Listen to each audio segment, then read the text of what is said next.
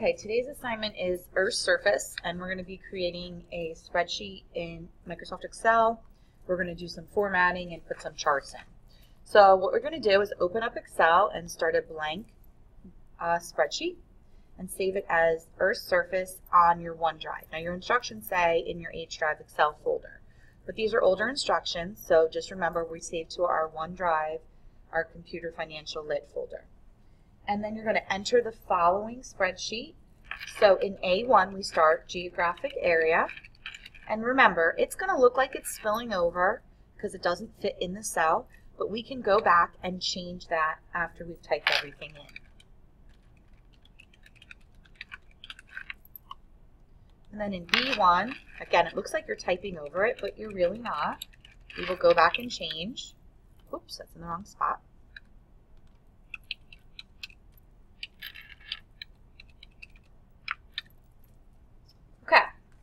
We're then going to do some formatting. So it says to select A1 to B4.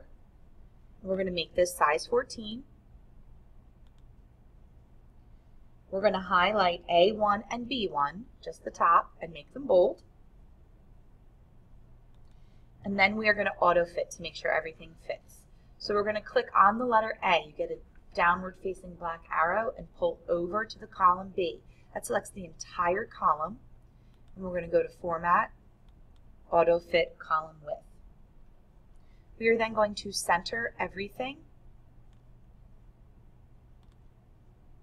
Oh, and I spelled this wrong.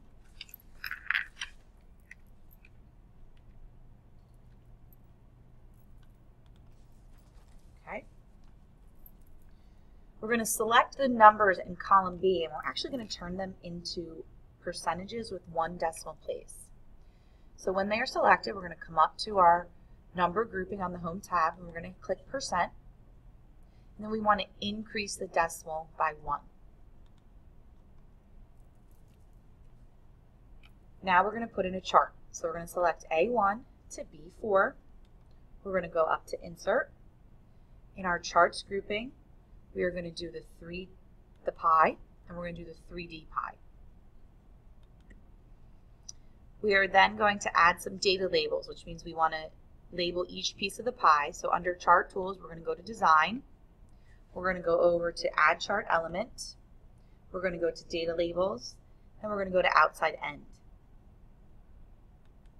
We are then going to position our chart under our data. So remember, click in the white area to move it. We are going to stretch it out to the end of column F, and down to the bottom of row 21. Okay, now number 10, we are going to put in another chart. So beginning in cell A23, we are going to type the information that you see on your instructions.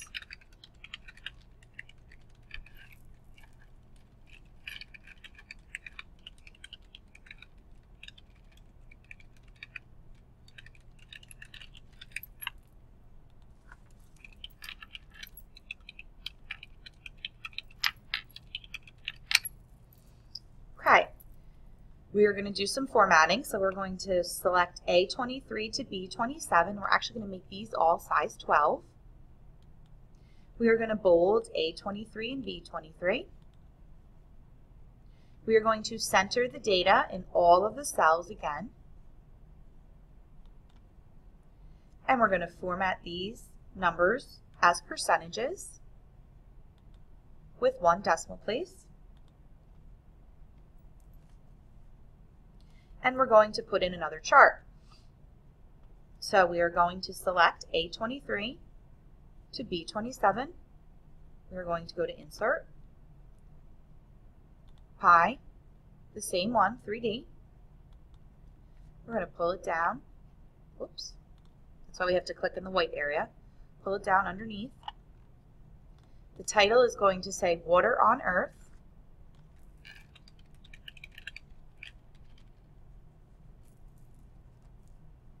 We're going to stretch it out to the end of column F and to the bottom of row 43. You are not putting data labels on this spreadsheet. If you need to do an auto fit again, please do so. Remember, click on the letter of the column and drag over. This way you auto fit the entire column. to the whitest data in that column. And then we're going to put in a header and footer. You need to make sure that you are not on a chart. You cannot have a chart selected when you go to put in a header and footer. If you have a chart selected and you try to put in header footer, this is what it will look like. That is putting a header footer on the chart, not the entire spreadsheet. So make sure you click off of your chart. We go to Insert, Text, Header and Footer. In the header, in the left section, you're going to type your name. In the center section, you're going to type period and then the number. You're going to leave the right section blank. You're going to scroll on down to the footer and we're going to type Earth's surface and then we're going to insert the date. So all you have to do is go to the Design tab under Header and Footer Tools and put in current date. And there you have it. When you are done, save to your OneDrive, then save a copy to your desktop, and then go ahead and upload the copy from the desktop onto Blackboard for grading.